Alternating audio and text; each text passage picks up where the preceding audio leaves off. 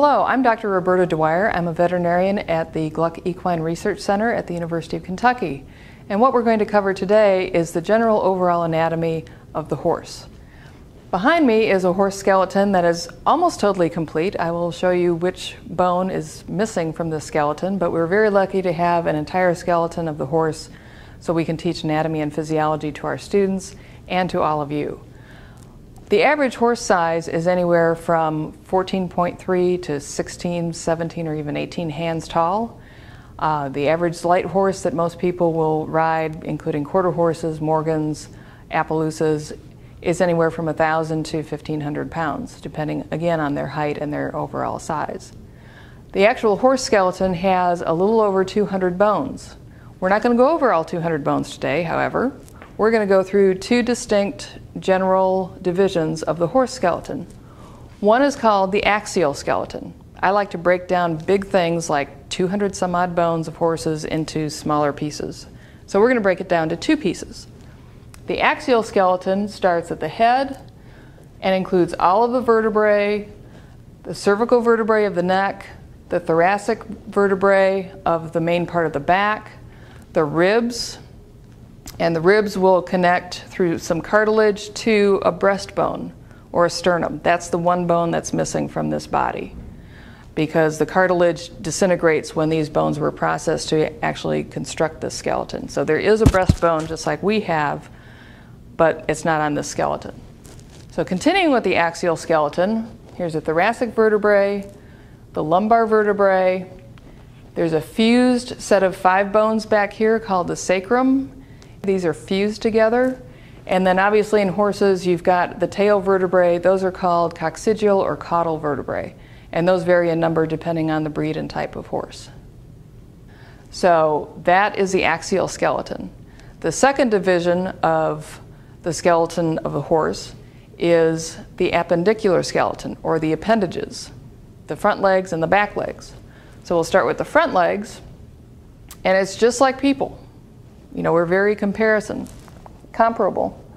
We have a shoulder blade or a scapula. The horse has a scapula down to the humerus, which is the same as ours.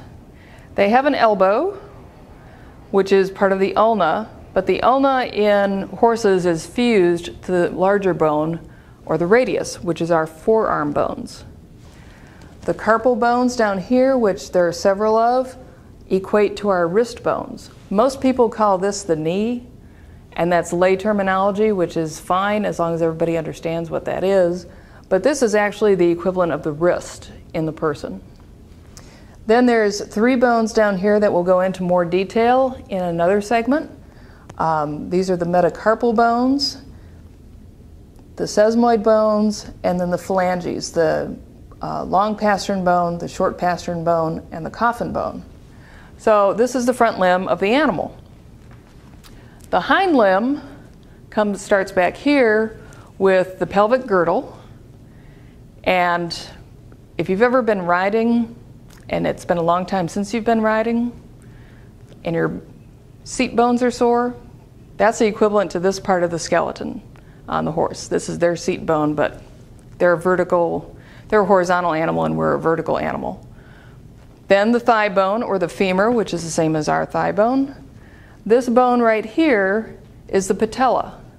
And this anatomically is the knee as it, equal, as it uh, equals the, the knee in a person.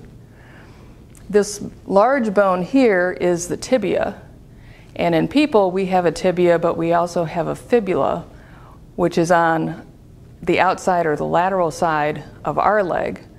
Those bones are fused in the horse. So they don't have two bones here, they just have one. And then you have the equivalent of our ankle with the hock, hock bones here. And then again, we'll go into more detail later on with the cannon bone or the third metatarsal bone, and then the long pastern bone, the short pastern bone, and the coffin bone. So that's just a general overview of the skeleton of the horse, and we will get into more distinct pieces of the anatomy of the horse in a later segment.